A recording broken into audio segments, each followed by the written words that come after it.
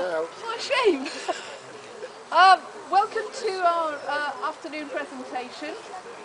What we're here to do this afternoon is to present Chief Scouts Awards to the young people standing behind me. We're here to celebrate achievement. Um, in each of our five training sections, young people all work towards, in their sections, the very top award, which is a Chief Scouts Award. They do all sorts of different things for that, but it's a huge amount of work and actually getting there is a big achievement for them. So we like to celebrate that. We're going to put some of this onto our website, which is what my colleague is doing at the minute.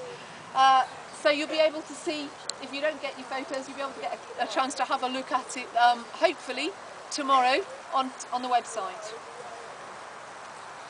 Around the venue, you'll find some of the things that the youngsters have enjoyed doing to get their awards.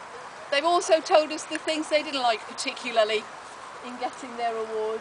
But what they also told us is, is what they'd like to achieve, some of the things that, that these folks would like to achieve in the future. I'm sure you'll be pleased to know they'd like good exam results, or some of them at least. I'm pleased to hear that some would like to get to be Queen Scouts. That's what we'd like to see all of our young people achieving. They'd like to be achieving their Young Leaders badge, to be a better sportsman or a musician, to continue into university, to be the first to be a first choice member of the rugby team.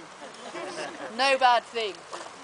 Future careers behind me, we've got zookeeper, somebody for the Navy, a fitness trainer, a solicitor, a surgeon, a lawyer, a dentist, high aspirations.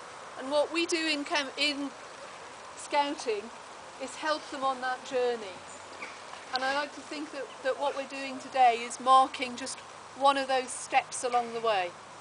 So we'll say congratulations to them at the end of all of this but tremendous amount of work supported by a lot of leaders in, in getting them where they are today. Shall we get on with the presentations then?